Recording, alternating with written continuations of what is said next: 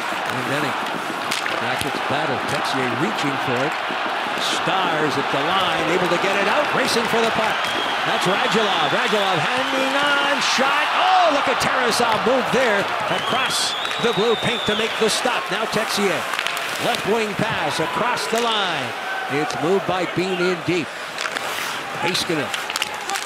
Robinson able to get a stick on it. Now double teamed on the far side and wins that battle. Centering pass. Pirelli was cruising right there in front of the net looking for the feed. Stars come away. Puck is sent deep. There the star. Player heads off. That was Glendening. He got bumped by the official. Fell down. Everybody's getting involved here with the, the contact. One of the best hits of the night was the official. Just kidding. Pavelski off the wall. Peeke gets it ahead.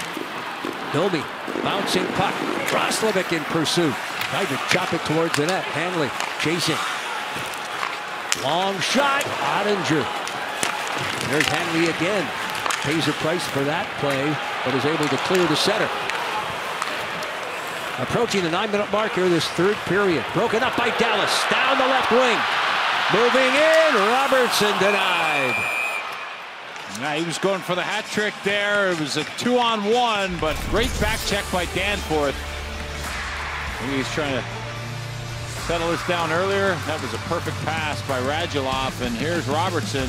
Oh,